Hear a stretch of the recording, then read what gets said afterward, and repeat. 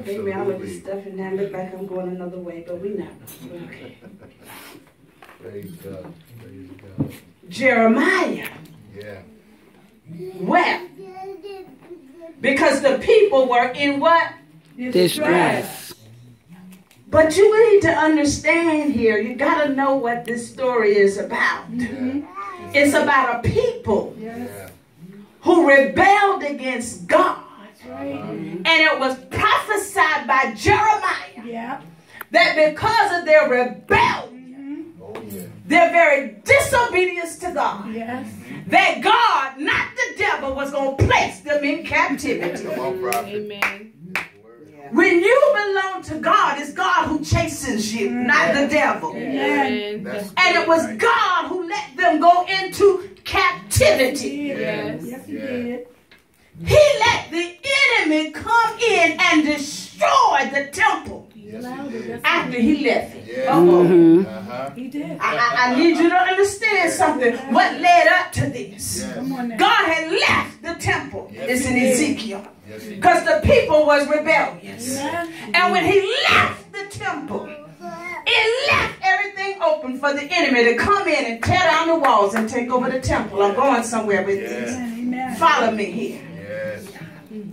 Yes. So by the time of Nehemiah, they had been in captivity for at least 70 years because it was prophesied. Say, it was prophesied. It was prophesied. They would go into captivity They will go into captivity for 70 years. for 70 years. And God did not change his mind even when they prayed all night long. Mm. They had to do the 70. Had to go through it. You hear what I'm saying? Yeah. When God pronounces a chastisement on you, you got to go through it. You gotta go through Through it. it. That's good, prophet, Amen. right there. You can fall out on the floor and spit all you want to. Yeah. You're going to have to suffer the chastisement. Yes, Lord. Yes, Lord. Isn't that what you had to do when you were a child? Yeah. If your parents gave you a mm. punishment, did you not have to do it? Yes. Yes. So they were in punishment. And the punishment was first the Sumerians came, the Syrians came, Yes. and they captured them. Yeah. But it wasn't bad enough with them. God sent a second wave, Yeah. the Babylonians. Oh, yeah. And when them boys came, they had no respect for the temple of God. Yes. They didn't care nothing about your temple. No, they didn't. Hmm?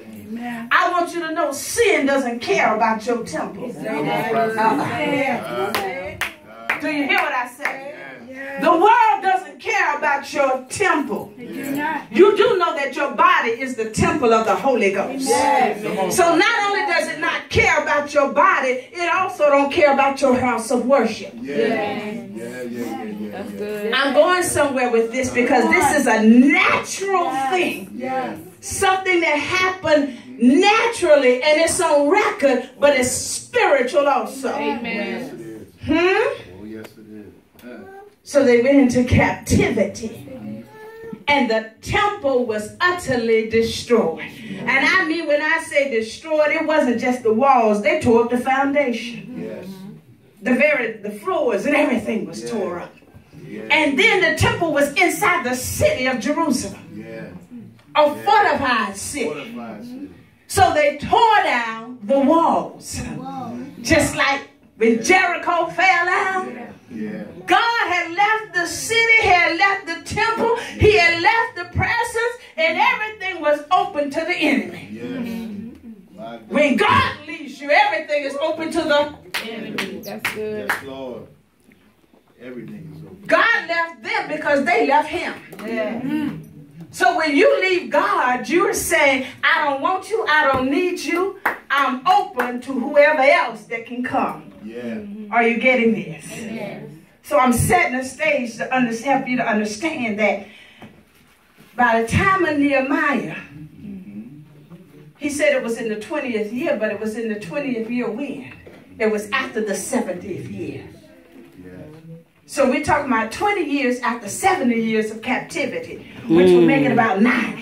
Yeah. Mm-hmm. So that means that some of these people now who are at, in captivity were born in captivity. It's no no wonder she said we were born in sin and shaped in iniquity.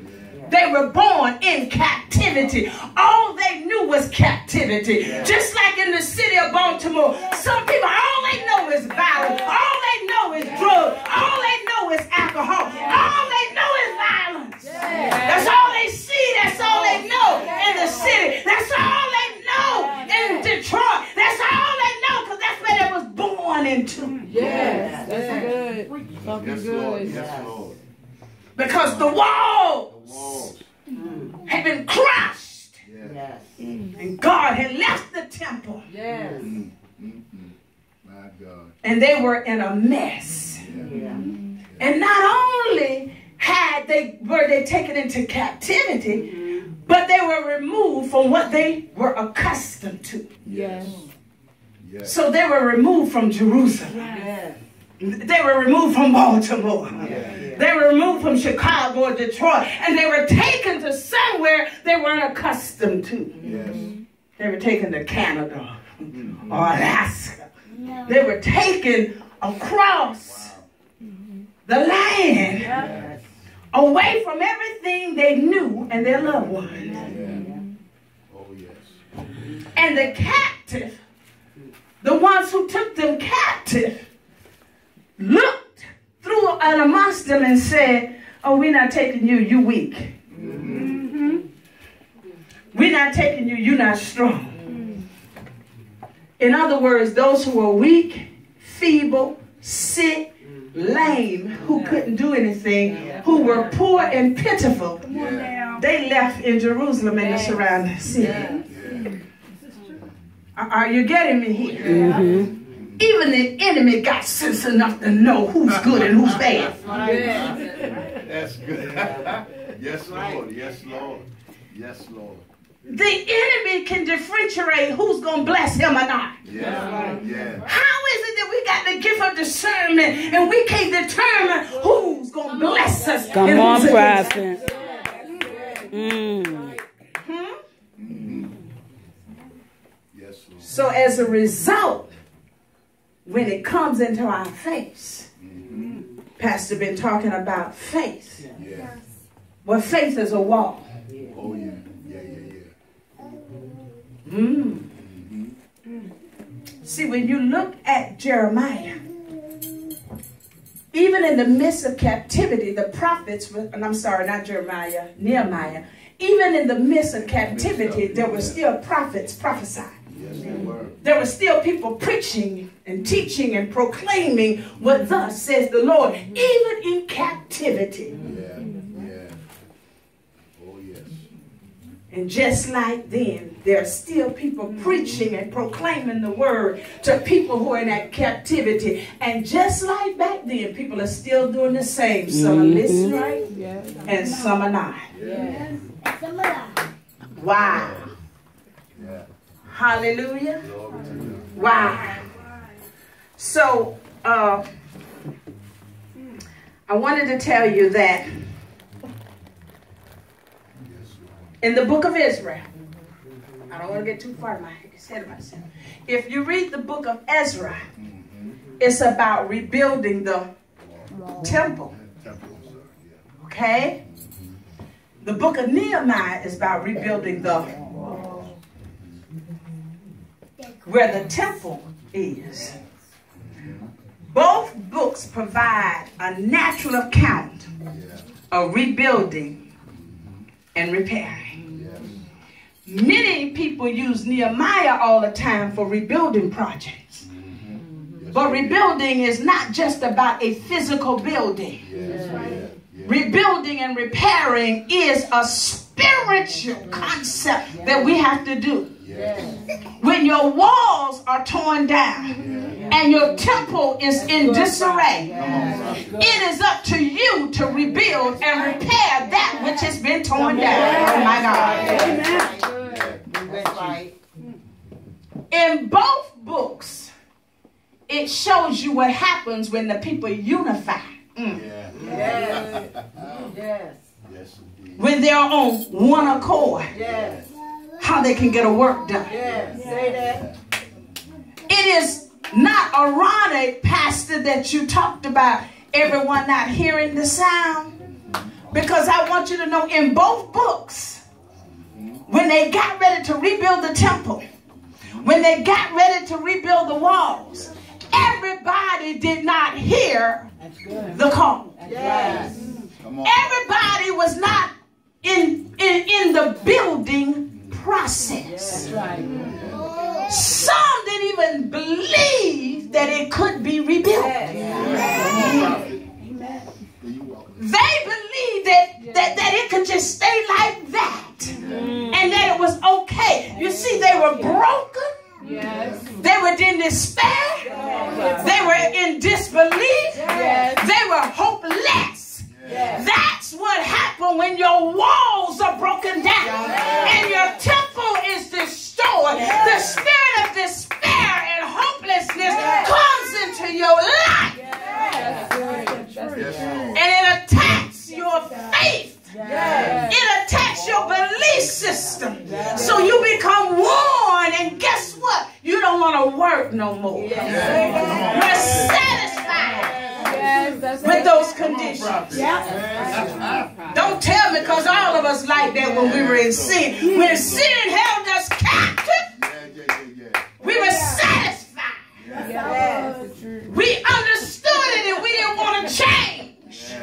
That's the truth, right? Yeah. Yes, Lord. Yes, Hmm? Lord. Yes. And when the word would go forth, somebody on this side of church would give themselves to God and you look at them like they're crazy. Because you didn't hear the call. Yeah. Hmm. Yeah. Isn't God great and merciful? Yes, he is. Yes, That even though you didn't hear the call the first time, at some point you heard the call. Oh my. And you answered. Yes, Lord. Yes, Lord. Yes, Lord. Yes, Lord. I'm telling you this so when you go back and read these books again, you'll see them with a different perspective. Mm. Both books also illustrate the attacks of the enemy. Yes. Yes, they do. Not only are the ones who tore down the wall, mm-hmm. but the ones who will come when you start to rebuild. Come on, prophet. Come on, prophet. Yes, Lord. Yes, Lord. Both books tells you the agenda of the ones who don't want you to rebuild and repair your life. You got to understand it. Come on, prophet. There is nothing new under the sun. So that the enemy can get you not to read this book, he'll keep you in ignorance. You got to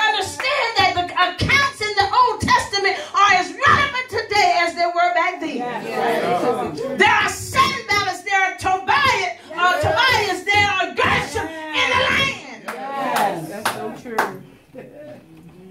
And the reason they wanted Nehemiah and the people to come down and stop working is because it was interfering with their livelihood. Oh, you got to know some history here now. That's right. Because, see, Jerusalem was torn down. No one went through Jerusalem. Yeah. Huh? Yeah. Economy didn't go through Jerusalem. Yes. And- and nothing went through Jerusalem because it wasn't nothing there but poor folks. Yeah. Yeah. That. That's the way some of the cities are. Nobody, in the businesses left Detroit. The businesses are leaving Yes. because there ain't nothing but poor folks there. No money to exchange. Yeah. Yeah. So they go around a different route. Yeah. Hmm? That's what was happening in Baltimore. People started leaving the city. Businesses started leaving. The economy goes down. Then when you start rebuilding, there are naysayers who come in. Listen. Yes. Oh. Why? Because now, instead of going out west and coming around this thing on the shoreline, oh, you got to hear me. Yeah. Wow. Wow. Sanballat them were from Samaria, Yes. and the new economic route was through Samaria. So you need to understand Come on, that the Sanballats and Tobias in your life don't want you to rebuild. Because you're going to stop helping them. Uh-oh. Mm-hmm. You're going to stop, stop giving your pearls to the swine, like the Bible says. You're going to stop giving to them. Yes. My Lord. I'm talking good, prophet. Oh, Yes, Lord. Am I helping somebody here? Yes. See, our walls were torn down when we were in captivity. And guess what? Every time you make dis- bad decisions, you put a scorch in your wall. Uh, Yes. and you got to rebuild that wall. Yes. Wherever that scorch is, you got to get something to clean the scorch off. Yes. And it's not easy to remove fire soot. Yeah. So you need the blood of Jesus Yeah. to cleanse the soot away Wow. because of your decision. Wow. Because what did I say? It wasn't the devil. God chastens those Yes. whom he loves. Yes. Yes. He chastened the children of Israel. Yes, he did. Captivity came their way. Why? Because they rebel. Wow. When you rebel against God, there are some consequences. Oh, yes. And they're not like what we give our children. Huh? No. You know, when you plant a seed, you get a harvest. You plant a seed of rebellion, you get a harvest of chastisement. To whom much is given, much is. Right. That's right. Are you following me here? Yes. Am I helping you here? Yes, Now, now turn with me. I, I want you to understand that uh, we're going to go ahead into the book of Isaiah. See, Nehemiah understood that with the walls being torn down, that the people were feeling hopeless. Yes. And he needed to give them hope. Yes. Yes. Rebuilding the walls, which show that the city now is what? Refortified. Yes. See, we don't have this today. Our cities are not walled in. But back in that day, the cities were walled in to keep that which was ugly and against the people in the city out. And it meant safety for the people who was within. So the walls represented safety. Yes. It also represented a type of salvation. Are you with me? I am saved Yeah. mm, Yeah. from that which is out. Yes. Yeah. Are you going with me here? With you. Uh huh. I'm saved from that which is out. The closest thing we have to walled cities are gated communities. Yeah. If you live in a gated community, don't you feel a little safer? Huh? Yeah. Even when the gates don't work, you still feel safe because you know they're going to fix the gate, don't you? Yeah. Because you know that nothing that should not be in there is going to be in there. Yeah. If they're in there because somebody gave them a code. Yes. Come on with me. Yeah. Come on. Are you ha- am I helping? The only way you got in there is because somebody gave you the access. Oh, come on. Yes, Lord. Yes, Lord. So if something has gotten into your life, it's because you gave them the access. Say that. Lord. They came into your city, they came into your space, it's because you gave them. Access. Access. If you don't want them there, don't give them the. Access. don't give it. Woo! My God.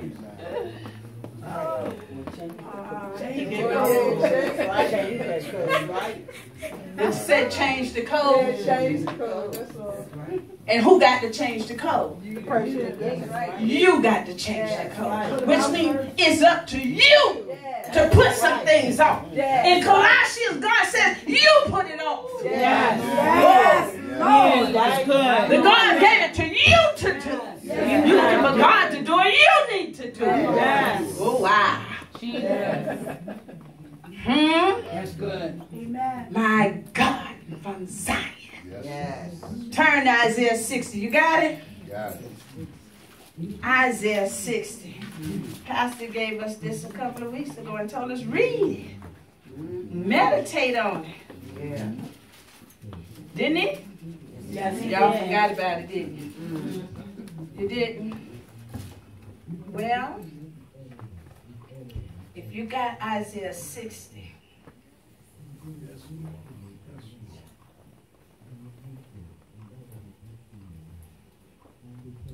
Isaiah 60. We gonna start at, hmm, where do we want to start? It's so good. It's so good. It's not at the beginning.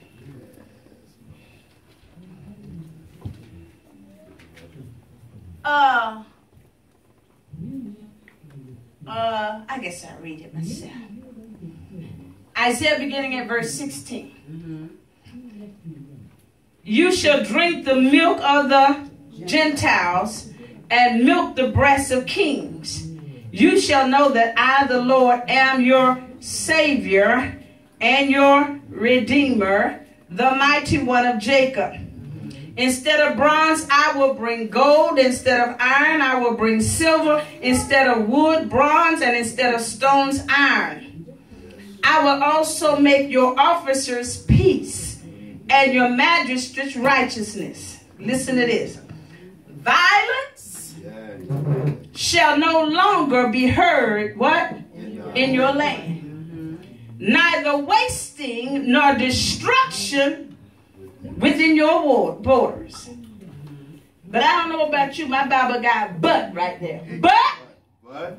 you shall call your walls Salvation. and your gates. Praise. So, if I can tear down your walls, Wow. I will tear down your salvation. That's good. That's good. He understood Nehemiah that when they tore down the walls of Jerusalem, Yeah, yeah. they tore down their salvation. Yeah, yeah. My God. My God. If the enemy can affect your ear gate, your eye gate, your mouth gate, your nose gate, your hand gate, he can affect your praise. Yes, he can. Yes. Yes, he can. Wow. Say that, that's good right there. Huh? Yes, that's the truth. So he's tearing down your gates Yeah, by letting you see stuff you ain't got no business seeing. yeah. Hear things you ain't got no business listening to. Yeah. tasting of unsound doctrine, smelling stuff that stinks and not corrected. See, the enemy is using your five senses, which touches your soul, which we was talking about, which causes you to do some unhealthy things. Come on. Yes. And when you're unhealthy, you come into the house of God feeling condemned and you won't open your mouth. You won't open and give praise. And God has declared your gates to be praise and your walls to be salvation. So he's stealing what God has already given you.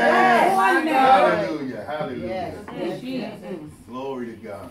So when we're pleading with you Yeah. To shout, to open your mouth, Yes. we're pleading with you to do what Yes. God says. to. Yes. And the enemy says you don't have to do all that. Yeah.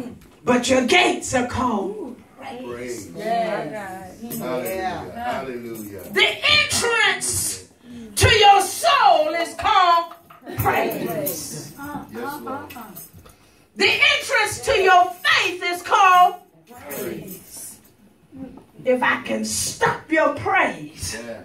I will clog up your faith. Come on, brother. Yes. Yes, Lord. Yes, Lord. Yes, Lord. Yes, Lord. Oh, So now, why would the enemy help you to rebuild your praise? oh. Hmm? Why would he help you to build your salvation? Yeah. See what I'm saying? Yes. So you got to do like Nehemiah. Yeah. You got to hear the call. Yes. Hmm? Amen. And do something to rebuild your walls. Yeah. Yes. The Bible says, work out your soul salvation with fear and trembling. Yes. So he already knew there was going to be an attack on your soul. Amen. God knew there was going to be an attack on your salvation. Yeah. God knew there was going to be a attack on your faith. Yeah. And Jesus said, Have faith Yeah. in God. So, what you worried about? Uh, In Isaiah, did he not call your wall salvation? Yes. Your very soul is salvation. yes. Your mindset is salvation. Yeah. Mm-hmm. And it's all connected to faith. Yes. For by faith you are Say. Ha. So your walls are not only salvation, but your walls are faith. That's. Your walls are Faith. faith. So not only is your foundation faith, Yeah. But your walls are faith. Yes. Your body is the temple Yeah. of the Holy Spirit. Yes. If your body is torn, broken, sick, Yeah. messed up, Yeah. it's gonna talk to your soul Yes. and try to convince your soul, your mind, that it don't know what it's talking about. Come on, prophet. So what it does is your body gets you to hear more about what the doctor says. And then it tells you to go check the internet for all the information that's out there. yeah, yeah, yeah. So now you're hearing what the doctor says. Yeah. And you're on the internet looking up what he says. Yeah. And you're flooding your gates. Yeah. And then you open your mouth and you begin to rehearse it. Come on, Yeah. prophet. Amen. Mm-hmm. Yeah. Yes, Lord. Yes, Lord. Come on. wow. Wow. Minister Melanie. Didn't I hear you say something about you have allergies or something? Something, something, something. What did you tell what did you say about the allergies? What did you say about Come on. Rehearse it for me. I have allergies. Mm-hmm. When do they come? Um, Mm-hmm. when the season changes. No, come on, rehearse it for me. I'm gonna show y'all something. Summer. When the sun, uh-huh. Come on, rehearse it. I'm gonna show you what she been doing. Come on. I saw you when I was writing this message. I remember one day when we were in here and she was talking about your allergies. And you was talking about the medicine. And you were talking about how you have to finagle your medicines. You take this one at one time and, and how I get think a couple of hours later you go and take something else. Come on, rehearse it. Say it out loud. Come on, let everybody hear what you've been rehearsing. I have to take allergy medicine every morning. Come on. and then uh, I have to take the nasal spray. Come on. This what she been rehearsing. Yes. That's what's been going on in her ear gate and what went in her eye gate a long time ago. Now, how many years have you been rehearsing this? See what I'm saying? So now, guess what? Her body is responding to what her soul has told her to do. Yes. Yes. Yes. I'm messing with you. God told me to mess with you real good Yeah. because He wants you to stop rehearsing that. Because you didn't even realize you were rehearsing it until I just brought it out to you. Uh-huh. And you didn't realize how many years you've been rehearsing it. And so you were wondering why you weren't getting better. Because time you asked God to take it away or do something, guess what you did? You rehearsed it back. Yes. Am I helping somebody here? Huh? She not the only one that done rehearsed something. Isn't that right? Huh? Did you have asthma? Did you have breathing problems? Nobody said you had. Cause see, I remember what happened on North Avenue that night when I talked to that shortness of breath. From that day forward, I didn't, as far as I'm concerned, she didn't have shortness of breath. So, have, what have you been rehearsing concerning your breathing? You see what I'm saying? There's a difference from saying the doctor has diagnosed me. It's a difference with saying the doctor says. But what are you saying?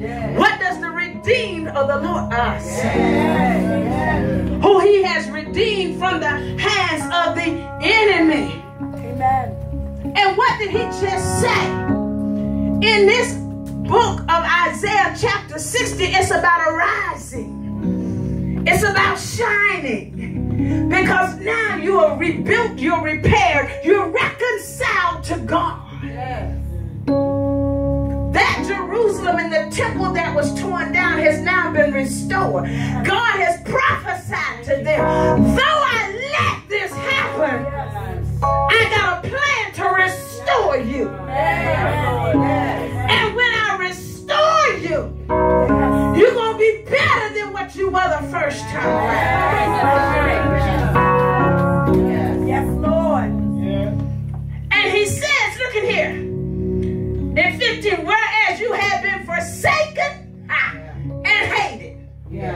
I'm going to turn this around. Yes. My God. Because see, the people turned back to God. Some of them did, but not all of them. That's right. But it didn't matter. God gave a promise. Though you've been forsaken and forgotten, here's what I'm going to do when I restore you. Yes, yes, yes, yes. And. I'm not going to restore you back to where you were. I'm going to restore you back to better.